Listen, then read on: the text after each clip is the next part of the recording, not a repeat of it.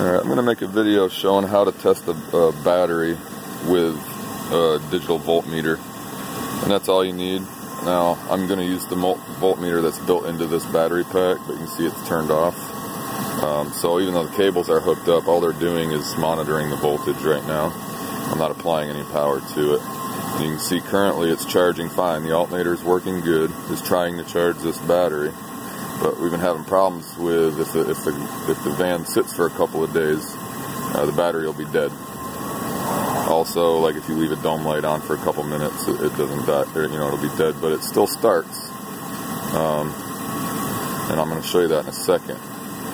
And the way I test batteries with a, with a voltmeter, and it's very, very accurate, is while cranking,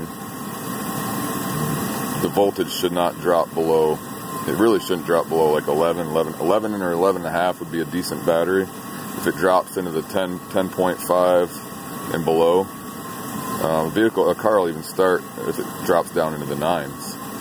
Um, but a good battery won't drop below like 11 while you're cranking on it.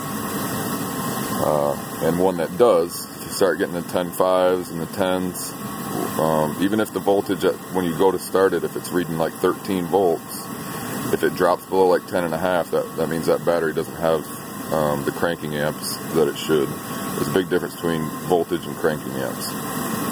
Um, and so a battery like that that drops below 10.5 while cranking would be a, one that you wouldn't want to like sit somewhere with your uh, ignition on, listen to the radio for a couple minutes. You wouldn't want to be doing anything, and, and you're going to really see the effects of it when it gets cold out, and that's what's happening now. It's getting cold out, and um, this battery is no good, but I'm going to show you why. So go ahead and shut it down.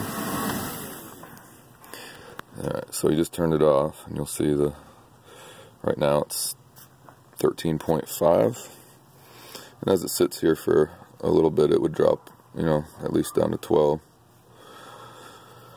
But go ahead and crank it. See how it dropped down to like 10.4? Alright, turn it off again. Alright, so as this sits here, it would get down to like 12 volts after an hour or so. So uh, turn the headlights on for a second we're going to go ahead and simulate that hour of sitting here and get it down to where it would be.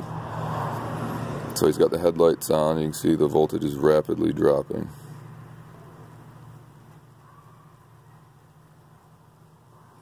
We'll let it get down to 12. Alright, headlights off. Alright, so we're at 12.5 now. Now it's still going to start most likely, but you'll see it's going to drop probably below the 10.4 it just did. Go ahead.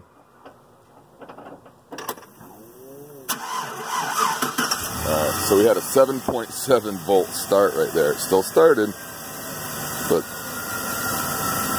that's a bad, real bad battery.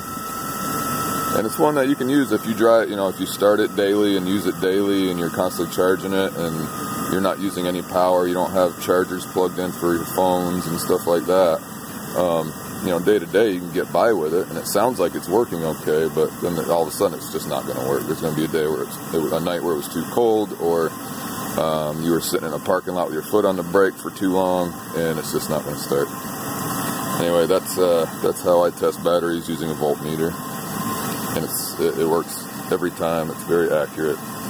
If you're having questionable, you know, uh, uh, questions about your battery, how good it is, because sometimes it doesn't start, other times it does if you put a voltmeter on it and it drops below 10.5, I would get ready to replace that battery as soon as you can. All right, bye.